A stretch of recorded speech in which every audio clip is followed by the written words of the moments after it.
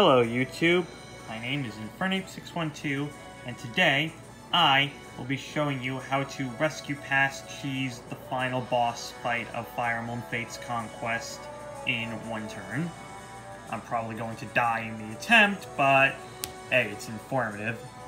So what you're gonna need, you're gonna need, well, let's start with one Corrin, who has been named Michelle in this game. Need one Corrin, basically as beefed up as possible. They need to be in a mounted class, any mounted class will do. Preferably one who can use swords. You, um, you need someone who can shove and swap. You need two guys who can shove or swap. Uh, you can, Hayataka and Kumagera will do just fine. You need Rallyman. Rallyman rallies. That is what he does.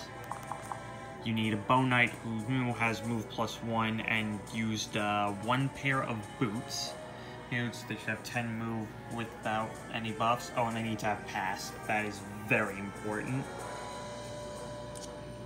Yep. They have pass.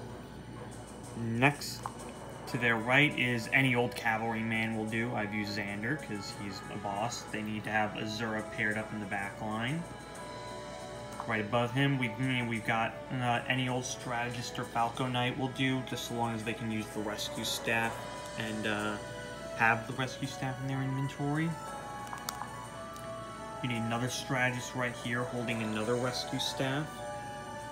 This one needs to have two charges, so we're going to trade it over to this strategist. I'm using Flora and Felicia, the Ice Twins, why not? And finally, this pairing, we need another Bow Knight. They don't need, they don't need pass. They don't. They just need. Uh, they also don't need the boots. They just need move plus one, and they should have plus ten and move when they're paired up with uh, this fourth mm, strategist, who is who is holding the enfeeble staff and beefed up on magic and skill tonics just to make sure. So I believe that is the setup. Make sure she has boots. Alright, let's go. God help me. This is where the spoilers start.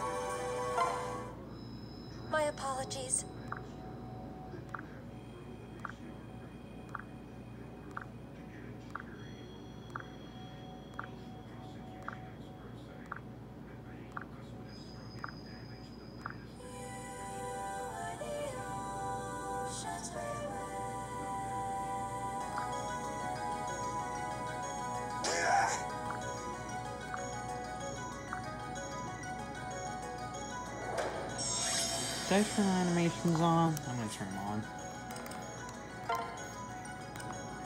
Yes, you can see how clearly I planned this one out. Alright. First move. We're gonna have by Rally Man. Rally!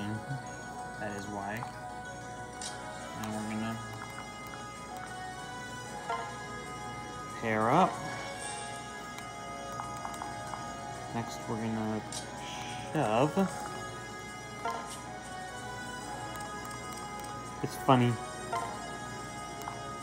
Making every move with one hand is forcing me to think things through a lot harder. Move here. And swap. Now we're just going to charge downwards. According to plan. There's no reason to pick a fight.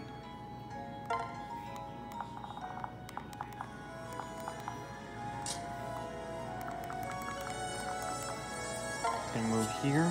Staff. Rescue. No, no, yes.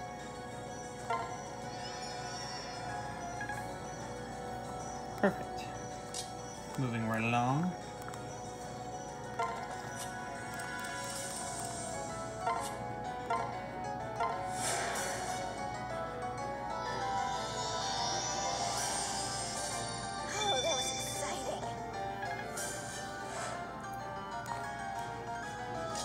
Now, as you can see, we are capable of reaching the final boss, Takumi. Alright, that's not too bad. Let's let's even up the odds a little more in my favor, shall we? One, two, three, four, five, six, seven, eight. Perfect. Staff.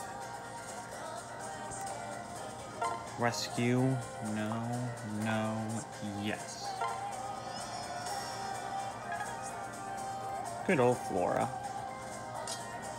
Now we move twice downward. Now we give me that rescue staff. Staff.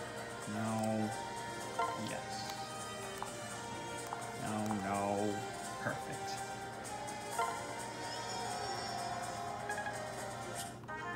Alright then. Rest in peace, rescue staff. This one doesn't need pass, I can just move. Switch. Good old Elise. Staff. Enfeeble. No, no, no, no, no, no. Yes. Ah, excellent. 99%. Suck it.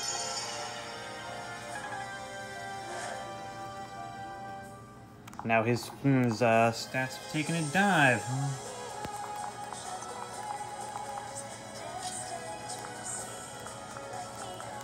Now we'll charge in and plunge Shadow Yato into his foul, demonic heart. That's probably not as much as I'd like, but let's go.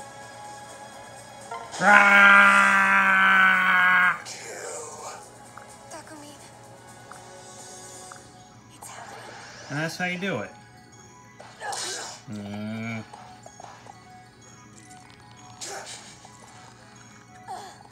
You okay? You won't stop me. Okay, so clearly I need a, I need Corrin to be a bit stronger if I want to actually one round him, but you see the theory. Thank you very much for watching. Have a nice day.